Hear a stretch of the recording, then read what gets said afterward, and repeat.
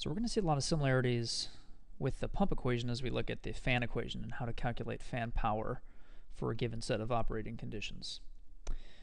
So what we might have brushed over last time is that we really have this general form that we can apply where in order to calculate electrical load, we can look at the flow, the pressure, account for any inefficiencies, and then use these power conversions.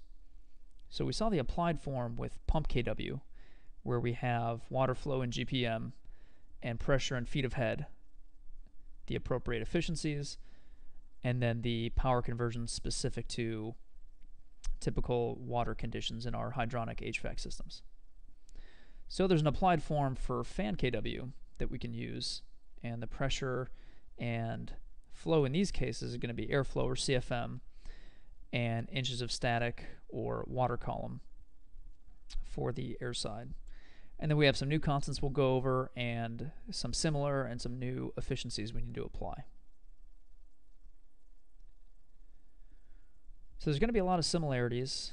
Let's kind of start with the top, the key operating parameters of flow and static. Well, once again, um, flow is maybe a little more of the straightforward and intuitive of the two, where we understand how cubic feet per minute or airflow is going to go through a system. But just to kind of make that comparison that we did with that perfect column of water and how we'd measure up once we fill one pound of water in that glass one inch by one inch column and how we can measure 2.31 feet and how that serves as the conversion between PSIG and feet of water column.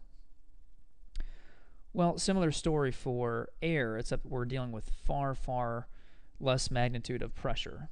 So you can do the same exercise at standard air conditions, but here the conversion we have is that one inch of water column at standard air is going to be a really a, a fraction of a fraction of a PSIG. So a lot less pressure that we're dealing with. And there's a couple different applications of taking these pressure readings and understanding how to plug that into the fan equation.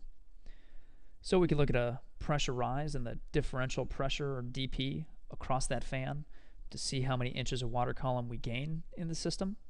And that would be a matter of plugging in manometer tubes to take the static pressure, which we would differentiate from velocity pressure, since we're really looking at the pressure not attributed to the, the velocity, so we're not measuring necessarily directly in line with the airflow, but we'd put these static pressure pickups right more or less perpendicular to our airflow.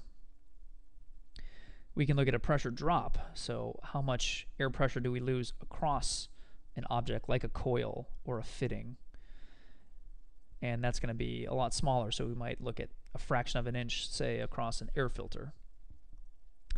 And then we can look at things like duct static pressure. So at the discharge of the fan or somewhere fairly down, so the industry standard is two thirds down the duct. A lot of times there's a static pressure sensor that the fan will automatically control to, typically somewhere around an inch and a half of duct static. And that's going to be accomplished by taking that manometer pickup, taking the static pressure of that duct, and then having one manometer tube open to atmosphere. So the efficiencies will look fairly familiar. Let's kind of take a look at that idea of a centrifugal fan and what that might look like in a mechanical room. So some of the same dynamic losses at the fan itself, some of the leakage and inherent inefficiencies that need to account for, mechanical losses, electrical losses. There's one extra component that's typically going to be in these fan systems, unless it's an inline or axial fan, there's going to be a typically a belt. So the motor doesn't directly drive the fan shaft, but they're connected by this belt system. And there's going to be friction losses associated with that. So it can vary. It depends on how tight that belt is on your pulleys. The tighter, the less friction that you're going to have. It depends on the belt type. So if it's a V belt versus if it's a cog or synchronous belt, those are going to be slightly more efficient. But all in all, you're going to have the same approach where you're trying to count all these inefficiencies, add them up, and then that would be built into your fan equation. So same story again with the conversions for power. We just have a slightly different one for air versus water. So this 6356, that is a way for us to plug in the key operating parameters, CFM and inches of water column, and get horsepower out of, of that particular conversion. And what we do is we start with this power conversion from foot pounds per hour to horsepower. We're going to do a pressure conversion from psi to inches of water column.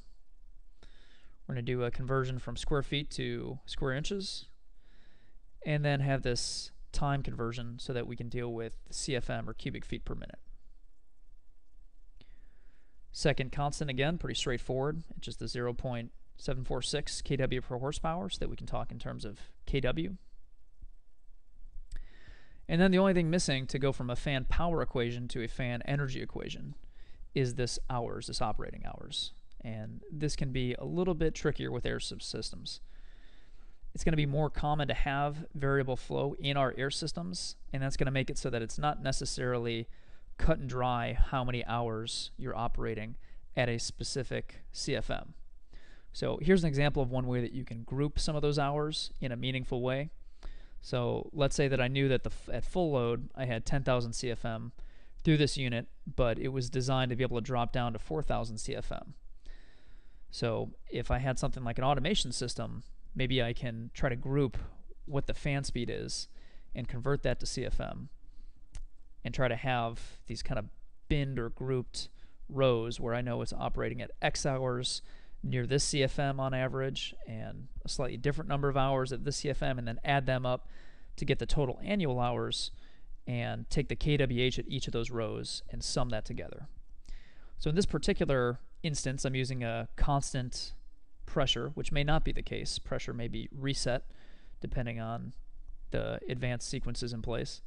I'm using fairly constant efficiencies. So we're assuming for a VFD, the fan efficiency doesn't change as the operating condition goes up and down its system curve. We assume the belt efficiency wouldn't change, nor would the couple points lost on the drive, but we do have a little bit of different efficiency for the motor as it goes from full load. So depending on the size of your motor and how close or how far below, say, 50% of full rated load you're going, you may want to count for, to some efficiency drop in the motor, if anything. But the big story here is that you may need to devise some scheme like this, either with your automation system or with um, with some weather data. You want to find out what the energy driver is, and then get some good defensible numbers for how many hours you're going to run at those different conditions, so that you're really getting good numbers out of this fan equation. And with that, we're going to move on to the different variations on these common themes for how airside systems are put together and operate and try to find some meaningful ways to classify the system you're looking at so that we can be a little more strategic about understanding their performance.